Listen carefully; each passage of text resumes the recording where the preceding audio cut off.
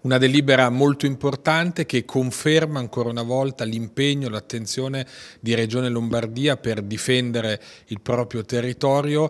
Lo vediamo purtroppo dalla cronaca di tutti i giorni quanto sia importante fare prevenzione. Regione Lombardia lo fa da tanti anni, eh, sono eh, oltre un miliardo di euro le risorse eh, investite da questa regione. Anche oggi altri 18 milioni eh, e mezzo per le nostre province, per i nostri comuni, per le nostre comunità montane, per difendere il suolo, per contrastare il dissesto idrogeologico, per garantire sempre più maggiore sicurezza per i nostri cittadini. Frane, fiumi che esondano, dobbiamo avere grande, grande attenzione, rispettare il nostro territorio, ma dobbiamo fare tutto ciò che è possibile per garantire strumenti per difendere i nostri cittadini, le nostre imprese e le nostre abitazioni.